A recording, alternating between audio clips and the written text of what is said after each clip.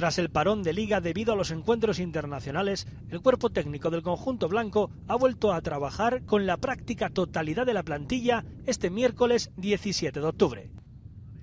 Eso sí, la sesión vespertina estuvo marcada por las notables ausencias debido a las lesiones que han tenido nuestros futbolistas con sus respectivas selecciones, como ha sido el caso de Marcelo con Brasil, Coentrao con Portugal y Álvaro Arbeloa con España. Una sesión en la que además han participado cinco canteranos, el defensa derecho Fabiño, el central Dérico Sede, los mediocentros del Castilla y el Real Maricé, José Rodríguez y Omar Mascarel, y el delantero centro Raúl de Tomás. Primer entrenamiento en el que el entrenador luso José Mourinho ha podido empezar a preparar el partido de liga del próximo sábado frente al Celta. Un choque que se disputará a partir de las 6 de la tarde en el Estadio Santiago Bernabéu.